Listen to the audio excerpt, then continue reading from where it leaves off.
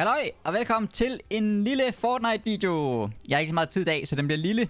Men der er simpelthen kommet en øh, sådan hemmelig bunker-ting, kan man kalde det det. Men egentlig vidste, den har været der hele tiden. Jeg ved ikke, hvor lang tid den har været der. Jeg er ret sikker på, at den var i starten af chapter 1. Mm, eller chapter 2, men jeg er ikke sikker. Men nede i Caddy, øh, nede i den der lille base, militærbase, der var, der er sådan, er det øst for den, tror jeg. Øst for Caddy. Øh, hvor der bare var sådan en lukket port, der allerede kunne bruge til noget. Den er simpelthen åben nu, og øh, Dr. Sloan, hun har flyttet ind. Og så kan man gå derind og få det våben, og så er der også lidt andet loot. Så det er meget nice. Det tjekker vi lidt ud i dag. Øh, det var egentlig meningen, jeg ville lege med den der e-scrappler, men den er ikke kommet nu. Det troede jeg, den var. Da er jeg blevet debatet. Så det må vi vente med, til den kommer. Og så må vi nøjes med det her i dag. Ja, lad os komme i gang. Ej, okay, der er lidt vej. Men øh, hernede. Jeg mener, at det var der allerede, da det nye map udkom. Men og, hvor det også bare var lukket. Hvad var der egentlig hernede dengang i chapter 1? Fordi Caddy, det kom jo i 3, i sæson 3. Var det bare bjerge? Jeg tror, at bjergene stadig var her måske. Jeg kan faktisk ikke huske det. Så dem her, de er også blevet tilføjet til mappet. Eller, det har de egentlig været, lige siden de kom ud. Men de er blevet nemmere at spotte nu. De der øh, bosser der. Førhen, der var de på størrelse med... Det ved jeg ikke. Den der, den der måske, den der lille bro der, der, der mellem Slurpy og op mod Weeping. De var meget, meget, meget lille, men man kunne også se dem. Hvor er jeg ude på vej? Hvor var det skulle hen? Jeg skulle til Caddy, hvad fanden har jeg gang i? Ja, og man snakker og... Ja, det er skide godt. men øh, ja. Så de er altså lidt nemmere at se nu. Det er også meget rart. For jeg havde prøvet før, hvor jeg sådan land et eller andet sted, og så lige pludselig så var der en boss i nærheden af mig, for jeg ikke set, den var der. Fordi den var så lille på mappet. Nu kan man så godt se det.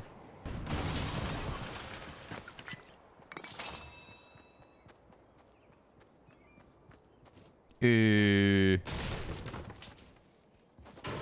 Det er noget scam noget det der, synes jeg. Der kan det ikke lidt med et big shield. Okay, bossen er... Nakkede bossen. Personen. Det tror jeg måske. Ja, yeah, det er sådan noget. Okay.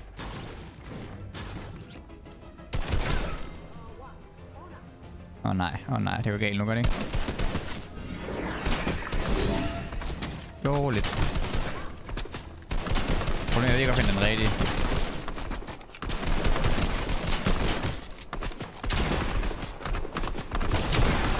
Åh, oh, fuck. Please er det hende der. Det var det. Uh. Fucking hell.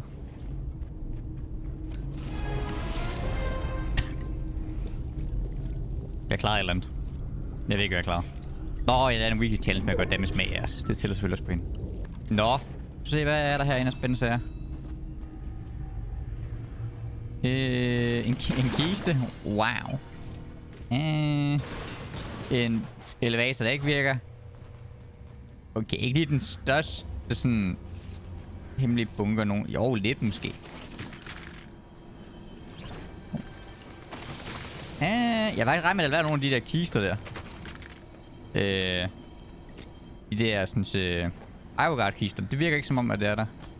Nej, det er sgu normale kister, der er her. Okay, den vil jeg gerne have.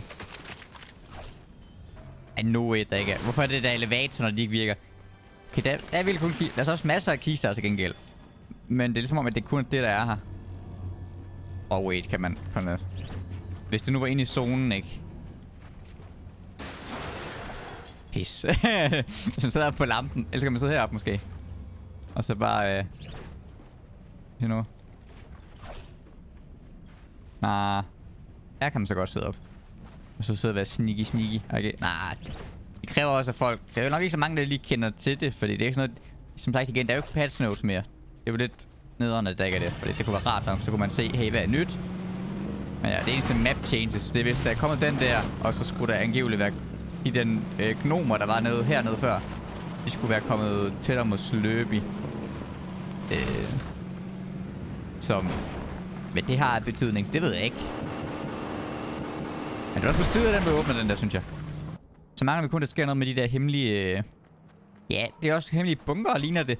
Det var også på det gamle map, men der er en her ved Pleasant, øh, hernede et eller andet sted. Og så er der en... Åh, oh, der er mange frøer. Så er der en øh, herover et eller andet sted også, og ja, der er nogle flere af dem. Og på Jespersø, undskyld, Golden Jesø, er der også en.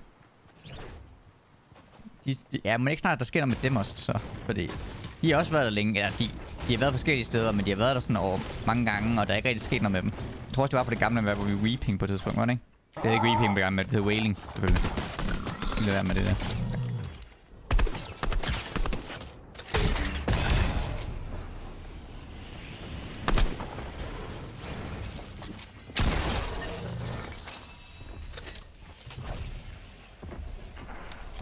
Den der boss, kan den ikke lige dø i zonen? Tak. Nej, jeg sagde tak, fordi du skal dø i zonen. Jeg troede, du døde inden, da du ramte zonen. Det gjorde du så tydeligvis ikke. Wait, what? Er nogen... Hvorfor vil de ikke dem med? Nå, okay, tak. What? Okay, han var så også dygtig, men... Wait, what? Nå, okay, fair nok. Jamen, det er da sådan nogle dage, jeg har lyst til... Jamen, det er klart. Jeg forstår, det forstår jeg stadig ikke. Altså, det kommer jeg aldrig nogensinde forstå, skill-based matchmaking. Hvordan møder jeg så nogen der? Fordi det, igen, det kommer jeg aldrig nogensinde til at kunne. Men okay. Fair nok. Det er ikke fordi, jeg er mad over, han er en bedre spiller end mig. Det er bare... Jeg forstår ikke, hvorfor jeg skal... Altså... Skill-based matchmaking. Det betyder, at man er på samme skill-base, og det er vi jo tydeligvis ikke.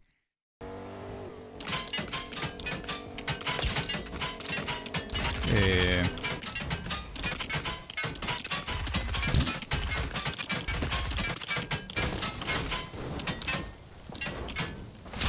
What the fuck?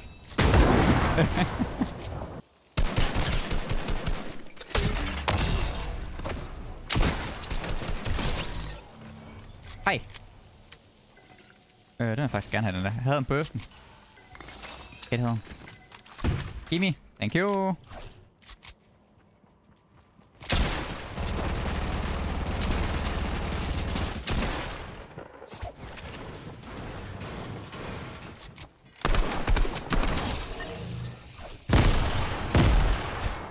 Suicide mission. okay. Jeg går ud fra, at der er lootet alt herinde så. Men hvor har man fået en railgun fra, hvis der ikke er de... Nå, Iogarsten sikkert. De, de har det med op nogle gange, men ja, der er også en der. Okay. Og fuck, solen går allerede. Oh my god.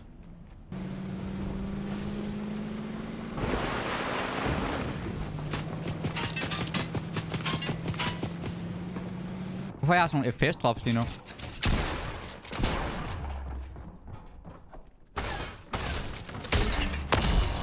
Det er virkelig voldsomt lige nu, synes jeg.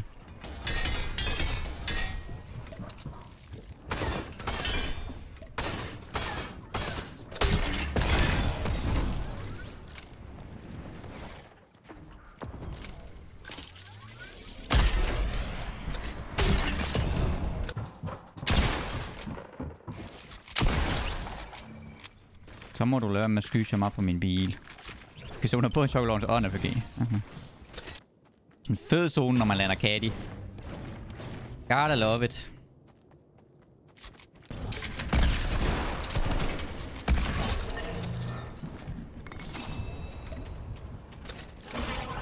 Men egentlig, for man kan købe en... Hvor er han henne? Der. Du kan købe en RPG af ham her. Åh, oh, fast. Okay. Fandme en logo. Ved du hvad? Ligegyldigt. Ligegyldigt. Jamen, det var en joke. Ja. Jeg ved ikke, hvordan jeg rammer dig igennem min væg, to be honest. Men okay.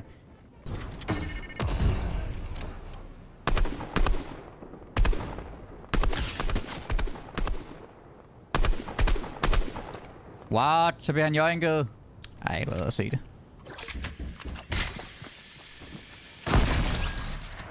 Very bad timing, det må man sige. Okay, jeg kan lave en guld charge. Upgrade. Nu må du lige vente med at push mig der der. Nok lige lade være med det. Wait, fik han ham lige? Eller... Jeg tror, han gør. Okay, det er mit.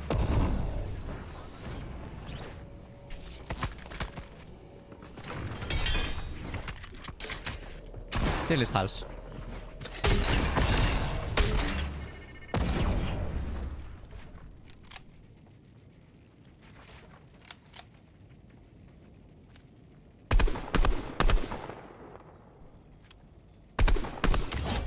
Og han livet. Ah, okay.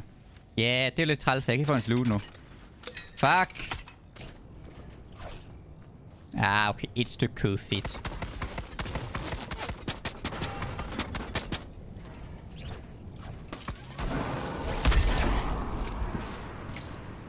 Må han jo lade være. Mats. Lille smule.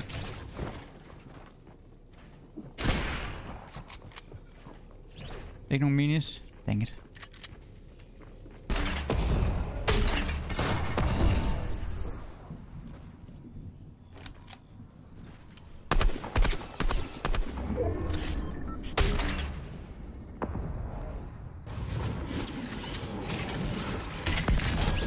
Det, forstod jeg ikke noget af det der.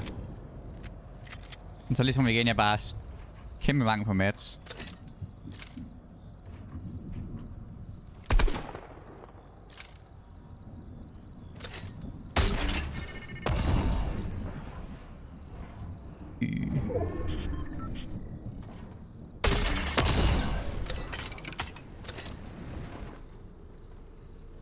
Hvad fanden laver han?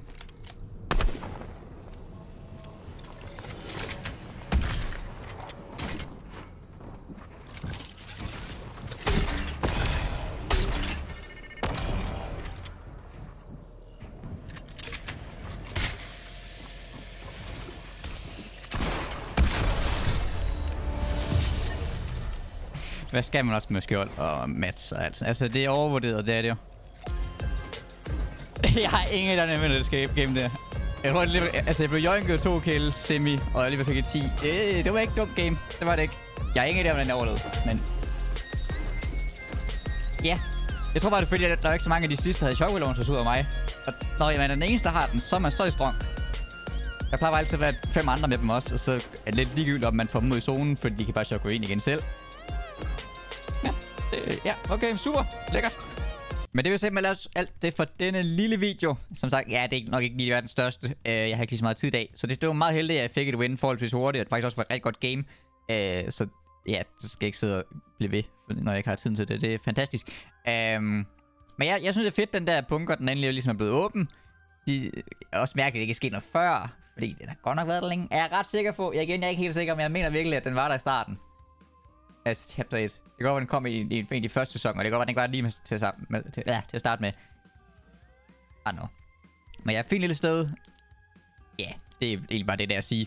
Så det passer også lidt bedre med den der Mythic boss, at hun ligesom er i et område, i sin område, frem for at hun sådan skifter plads hele tiden. Øh, og bare midt på vejen.